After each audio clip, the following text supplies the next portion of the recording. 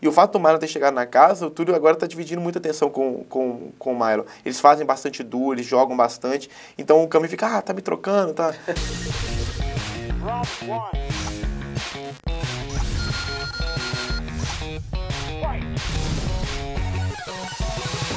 Fala caras, tranquilo? Sou o Gordox e o Mitch, que sempre aparece aqui muito nos vídeos de tutorial, né? Vai, vamos trocar uma ideia agora sobre como é que tá, na verdade, esse novo ambiente lá na PEN. Houve uma mudança muito brusca, né? Que saiu lá o, o Lecão, um cara tipo cheio de, de energia, sempre comunicativo, brincalhão. E agora entrou um maluco que é. Todo mundo diz que tem um convívio difícil. É, como é que tá o ambiente da PEN? Ah, o ambiente da PEN, ele não teve uma mudança assim muito brusca com relação ao convívio. O Leco, com certeza, era um cara bem animado, era um cara que brincava bastante, mas o Marlon também é.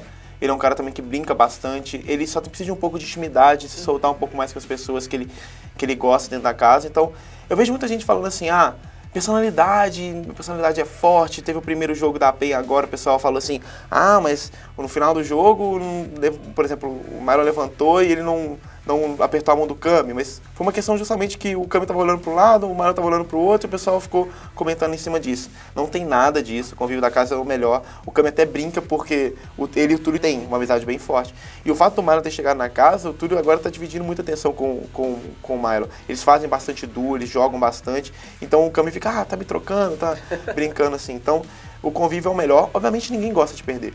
Hoje o grupo da PEN, a gente tem quatro jogadores ali que foram campeões brasileiros em algum momento da vida, Sim. tiveram títulos enormes e, e, passagens enormes por, por times de, de League of Legends que foram vitoriosos, por equipes vitoriosas, e eles não gostam de perder. Então, numa situação que eles perdem, eles, eles não ficam chateados um com o outro. Eles ficam chateados consigo mesmo, em alguma questão que eles erraram. Uma das questões que, bem, bem comuns, o Malha, quando ele perde um jogo, ele não é o tipo de cara que você vai chegar a perder um jogo e vai parar de jogar ou vai ficar nervoso. Ele vai jogar mais o jogo e vai querer mais e vai tryhardar mais para poder ver o que ele errou.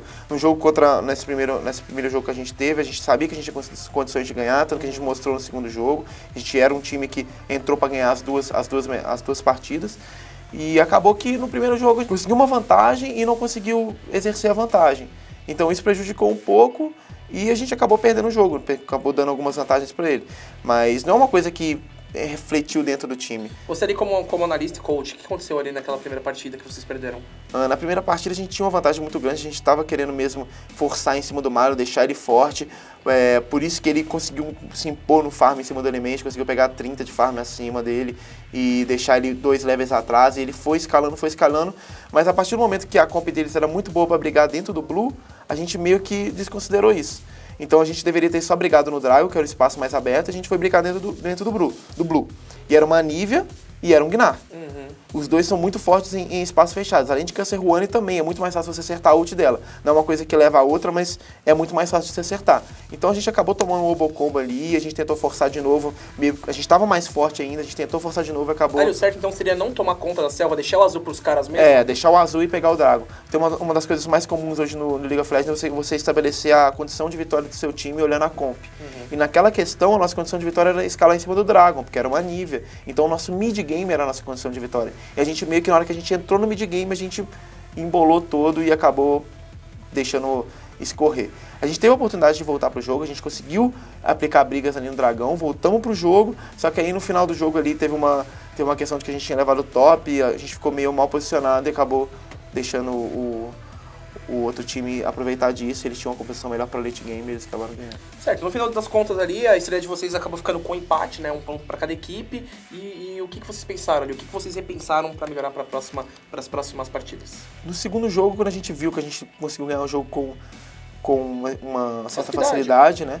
É, a gente viu que a gente realmente o primeiro jogo foi uma questão da gente ter errado.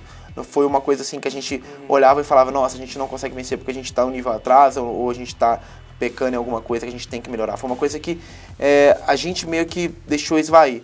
Isso não é uma questão de, de as pessoas falam, ah, está sendo arrogante, não. O grupo é muito bom, os players são muito bons, eles sabem que têm capacidade de ser campeões brasileiros. Uhum. Então eles viram que cometeram erros e estão pensando e pararam para poder refletir qual seria a melhor opção para não errar mais. Então, quando, quando a gente viu o replay, a gente viu que foi um erro, eles falaram, ó, oh, nossa comunicação nessa hora não foi tão boa. Então a gente tentou focar nessa, nessa questão da comunicação, a gente já está fazendo isso na, na semana do, durante os treinos, já está focando nisso. E a gente está com um gás muito grande de que sabe que o nosso grupo é muito forte e que o nosso grupo é muito mente aberta para saber que errou. Não é ninguém, por exemplo, acaba um jogo e fica aquele clima pesado de todo mundo, nossa, é, onde que nós erramos. Acaba o jogo e um olha para o outro e fala, olha, a gente errou nisso, a gente tem um, um grupo muito forte, a gente tem um grupo para ser campeão, então a gente tem que melhorar e tem que melhorar e vamos para o próximo jogo. Então, cabeça aí aberta, nada de clima ruim. Nada. E aí o ambiente melhor impossível. Não, muito bom.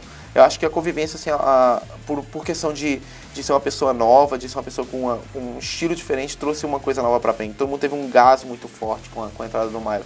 E eu acho que é isso que a gente mantém. Óbvio que como eu disse, ninguém gosta de perder e que a gente tem que ser trabalhado todo dia. Mas isso é uma função da comissão técnica, da equipe de psicólogos e da, das pessoas que trabalham com a gente. Então, isso é uma coisa que os jogadores não têm preocupação com isso.